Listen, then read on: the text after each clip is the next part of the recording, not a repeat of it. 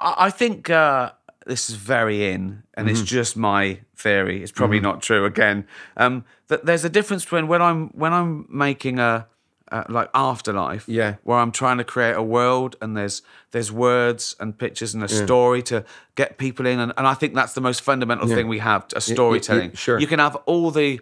Uh, uh, avatars and CGIs in the world but Yeah. it come down to one person telling another person what happened to them and that, that's that's the most human it gets okay Yeah, that's never- the that's what it's all campfire that's what Yeah. Mm. where empathy starts where caring starts where intrigue Yeah. that is it right Yeah. um so i do that and I make it, and I put music on it. Oh, and, and you know, you manipulate emotions, and Yeah. you take them on a journey, and you surprise them, and all that, right? And then you do your best guess, and it's what you wanted. I get final edit, and if it works out like I wanted it, I I can't fail. Yeah. And I put it out there, and there's nothing I can do about it. Yeah, They tell sure. me if they liked it or they didn't. or- Yeah, right, right. yeah. Stand up's different.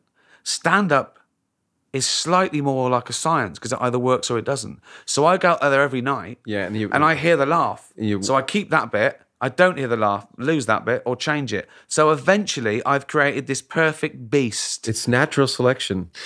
it is. Yeah, it's the exact- audience of ch- the audience is the world, yeah. and they've chosen the bits that work they for them. work, yeah. An audience is the same everywhere.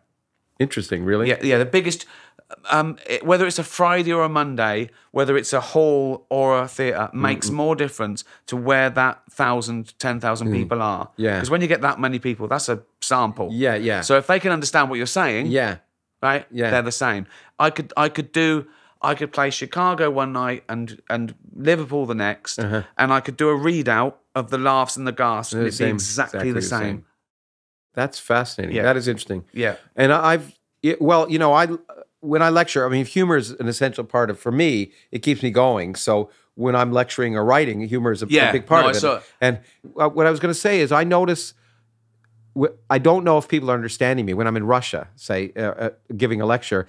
But the way I figure find out is by making a joke, Yeah. and then and then you know because it, Yeah. of course then there's like a three second Yeah. delay Because they all have then- to laugh at the same time. Yeah, yeah, yeah, yeah. They can be nodding and pretending to get Yeah, you. yeah. I agree. It's like it's uh, the, the that's when you tell. It's like if you're not listening to a teacher Yeah. and they say, "So what do you think?" and you have to go, Yeah. I wasn't listening." Yeah, Whereas yeah. if I make a joke, you, yeah, Yeah.